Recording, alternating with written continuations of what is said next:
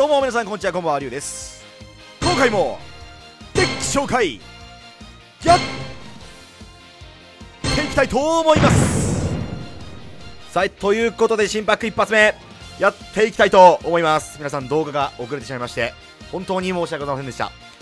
ちょっとねあのー、仕事であのー、外に出なきゃいけなくて2日間ぐらいちょっと家にいなくてですねちょっとなんかホテルでね、あのー、撮影しようと思ったんですけど、なんかあの、マイクがね、あの、残念すぎて なんかノート PC ので、ちょっときつかったんで、えー、こんなに動画が遅れてしまったとえいうところなんですけれども、本日はですね、磁石、マグネットウォーリアー、えー、新しくフィールド魔法が、えー、追加されまして、このフィールド魔法なんですよ。マジで強いです、これ これめちゃくちゃ強いです。えー、もうね、すぐね、すぐ目立ってくるんですよ。コナミさん。僕ね、そういう姿勢、嫌いじゃないです。えー、どういうことか。この丸2番の効果読んでもらえますか？丸2番。一旦一度自分の岩石族持続性モンスターとの戦闘で相手モンスターが破壊されなかったダメージステップ終了時にその相手モンスターを持ち主の手札に戻すとつまりですね、えー、今までまあまあ強かったコキュートスとか、えー、メオス、などなど破壊耐性があったりとかえー、そういったモンスターたち、えー、全て持ち主の手札に戻せます すぐメタルよね。ほすぐメタルよね。もうなんか呼吸と出してもう次のパックですぐメタってくるっていうね。こういう好きだわ。そういう好き。そういう姿勢好き。で、えーとまあ、一応丸1番の方もすごい強くてですね、えー、自分のフィールドにレベル、えー、4以下の岩石族地属性モンスター、まあ、マグネットウォーリアーですよね。基本的には、まあ、えー、マグネットじゃなくてもいいんですけど自分の墓地のレベル4以下のマグネットウォーリアーモンスター1体を創生できるよと。だからえっ、ー、とねこれ何が強いかっていうとですねこれねデルタ。デルタを召喚するとまあマグネットウォーリアーをなんか墓地に送れますよと。でデルタ召喚っていうのが今までは初動ではなかったんですよ。デルタと例えば強化蘇生とか。が、まあ、一応まあ初動として数えられるかみたいな感じだったんですけど今回はデルタとこのマグネットフィールドがあるともうデルタで蘇生あ墓地墓地の送った例えば、えー、ガンマとか、えー、ベータ。これを即座に蘇生できます。即座に。as soon as possible で ASAP で。もう今もうするやいなや。するやいなや蘇生できます。めっちゃ強いですよこれ。これめっちゃ強くないですか？で、まあ、めちゃくちゃ強いのはやっぱそのデルタで落としたやつをすぐ蘇生した後にやっぱこいつ3だからレベルが。サイコビールだとか言うとすぐシンクロいけるんですよ。まあ、6も7もいけますね。えっ、ー、と、あと、まあ一応10もいけますよね。まあ、4、3、えー、3なんで。だから、めちゃくちゃ強くて、で、これをガン詰めしてます。今回は。これを活躍させる敵なんで。で、あの、ダメージを、あの、要は自爆特攻するときって受けるから、お得意のね、聖なる守護っていう ジャンクアタックでしか見ない、えー、この最強のスキルを、えー、使って、自爆特攻していってで相手の呼吸とかをなんかもうこっちはダメージ一切受けずに戻すっていうことしたいからあそういうことです今回のデッキはでえー、っとあとのサポートギミックはやっぱりこのデルタが邪魔なんで基本的にはそのフィールドにいるデルタとかがなんでこれをまあ処理できるようにエネコンとかリリースできるカードですね、自分のモンスターを。まあ、タト、エヴァーとサイコビルダーのシンクロとか、タト、エヴァで。えー、っと、バックを除去する、えー、っと、手段として小伝いを採用してましてこれは結局ベルセリオンを着地してベルセリオンの効果が通んないと負けるんで基本的には。なんで、まあ、小伝いでちゃんとバック除去して底なしとかカナディアとかコーカスとかなんかああいうなんかめんどくさいそのトラップカードをまあ除去したんですよ。あと親族とかも抜けるしね今ね。あの打天使まだまだ強いんで打天使なんで、えー、小伝い3枚。がっつり採用します。で、まあ、1回しか出さないんでベルセリオンが。要はベルセリオン1回出して勝てあのー、勝利できんかったら負けやから。なんで一応1枚ずつでもいいと。このガンマとかベータとかは1枚ずつでもいいと、まあ、そういった形になってます。でシンクロモンスターはこんな感じですね、まあ、これ全部使うんであのー、まあえー、適材適所で、まあ、置いていくといった感じです。早速ゲス磁石バウンス特攻部隊やっていきましょう。デュエルスタンバイ。さあお相手の方カイバー社長よろしくお願いします。デュエルスタンバイ。いやーやっと帰ってこれましたけども。えー、早速ね磁石の力見せていきましょう。やっぱり、ね、一発目は磁石だと思ってたんですよ俺は。デュエル。あのー、マグネットフィールド。非常に強力ですこれ。これめちゃくちゃ強いこのフィールド魔法。蘇生札でもあるしその要は戦闘を補助できる札でもあると。役割がね2個あるんですよこのフィールド魔法。これめちゃくちゃ強いんですよね。まあちょっとこれだけのために今回のパックを剥くかと言われると。あちょきついんですけどそれは。それはめっちゃきついんですけど。なんかコナミさんもなんかそういうの好きですよね。なんかもうなんかそんなになんだろうな。全然関係ないパックなんかすごい強テーマのサポートカード1枚だけポンって積むみたいなあの追放のパターンですよね。あの打天使の。やばいわあれマジで。えー、っとそうですね。まあ、これはえー、っとデルタ召喚。デルタの効果発動。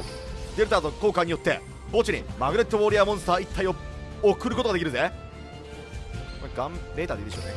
えー、そしてマグネットフィールドの効果発動。マグネットフィールドの効果によってフィールド上に岩石族属性モンスターが存在する場合墓地のマグネットウォリアーモンスター1体を特殊召喚できる。そしてベータを特殊召喚するぜ。そしてベータの効果発動。ベータは特殊召喚に成功した場合デッキよりマグネットウォリアー1体を手札に加えることができる。さらに俺は手札でサイコビルダーを特殊召喚。そしてレベル3サイコビルダーをレベル4マグネットウォリアーデルターにチューニング。全てを壊せデストロイ。お前のズボンはコーディロイ。俺の車はロールスロイス。シンクロイ召喚。降臨せよ。レベル7デストロイ侍つえ。ーもうねあのねシュトロンベルクはあのデストロイ侍出すの。黙るんで。これ、えー、デストロイ侍攻撃する場合相手は、えー、モンスターの効果魔法トラップカードを一切使いませんのでそしてモンスターの効果は全て無効化されます。えい。強すぎー。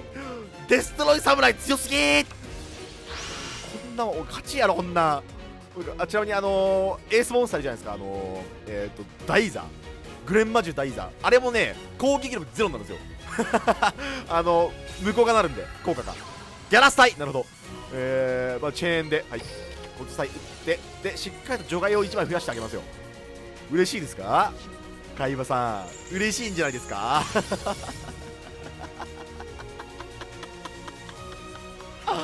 もう罪やでこんなもん。頑張って出したカード全部があったぞ。かわいそうに。1枚。おいいだろ。うおなるほどえー、ベータの効果発動ベータの効果は。相手団にリリースすることによって敵からマグネットウォーリアレベル4モンスター1体を特殊召喚できる。そして、えー、ガンマーの効果。ガンマーじゃねえや。デルタの効果。あれ今俺ベータって言ってた？ガンマって言ってた？ちょっとわかんねえよもう。ちょっとわからん。ちょっとわからんわからん。もうベータかガンマがあるか知らんけど。知らんわそんなもん。えー、アルファを攻撃表示で召喚していいんだっけ？えー、っといいんだね。アルファを攻撃表示で召喚。そしてアルファの効果発動アルファの効果によってデッキよりレベル8のマグネットベルセリオンを手札に加えそして俺は電磁石エレクトロマグネットウォリアアルファベータガンマーをこのゲームから除外しマグネットペルセリウムを特殊召喚。そしてマグネットペルセリオンの効果発動。墓地の弱モンスターを除外してめえのカードを1枚破壊しセット。攻撃表示バトル。強い強い強い。強い強い強い強い。シュトロンベルさん何もできず。何もできていない。なんという強さだ。鬼か。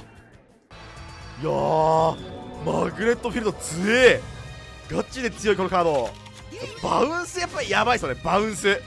聖なる死後バウンスってマジでめんどくさくない？なんかやってることなんかあの アマゾネスの吸収になんか似てる気がするんだけど。あの一時期あのアマゾネスデッキでなんかあのアマゾネスの吸収に聖なる死後っていうあのスキルを採用してなんかひたすらになんかこっちは全くダメージを受けずになんか相手だけ除外するっていうなんかクソみたいな戦術が流行ったことがあったんですけどもあのデュエルンクスの歴史のね授業でもやりましたけどもあれとね、なんかね、似た匂いを感じるね。まあ、一旦に一度の制限があるんで、マグネットフィールドは、まあ、ちょちょっと優しいかなと思うんですけども、優しいです非常にだから。優しい。あのまあ、一応1ターンに1度っていう制限なんで相手のターンでも自分のターンでも1回ずつ使えるよと。だからあのね全部自爆特攻しに行ってあの全部バウンスとかできないんですよ。だからバウンスするモンスター1体どれにするかっていうのはあのちゃんと見極めないといけないかなと思うんですけどそれにしたって強いよね。バウンスですよ。なんかコキュートスつえーってなってる中でなんかいきなり入っちゃうバウンしますみたいな。もうメタ好きだよねコナミさん。メタるのこれこれ地獄見ますよこれ。アンティークギア。アンティークギアアルティメットゴーレムさん。これちょっと地獄地獄を見せますこれ。エネコンで勝ちなんですよ。エネコンで正直。正直エネコンで勝ちです。ぶっちゃけね。そんなことはしません僕は。そんなことはしません。俺はねバウンスしたいんですよ。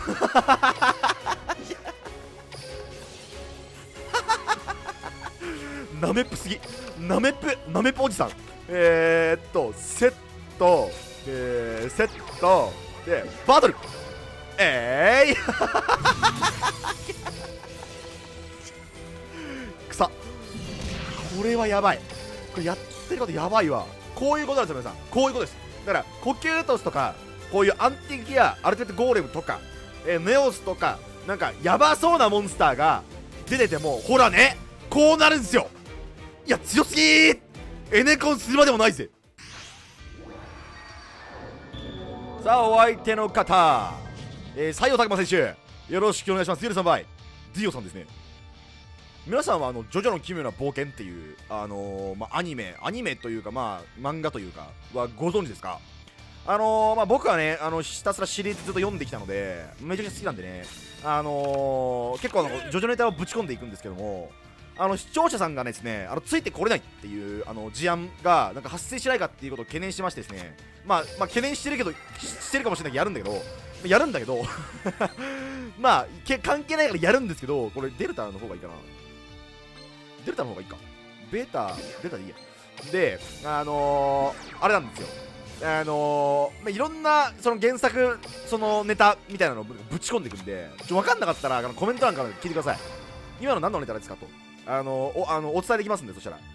あのねあの一番分かりづらいのはねあの多分ねあの北斗の拳っていう漫画が僕好きで、まあ、北斗の拳のネタとか漫画たまにぶち込んでいくんですけどもあの世代じゃないとみんな。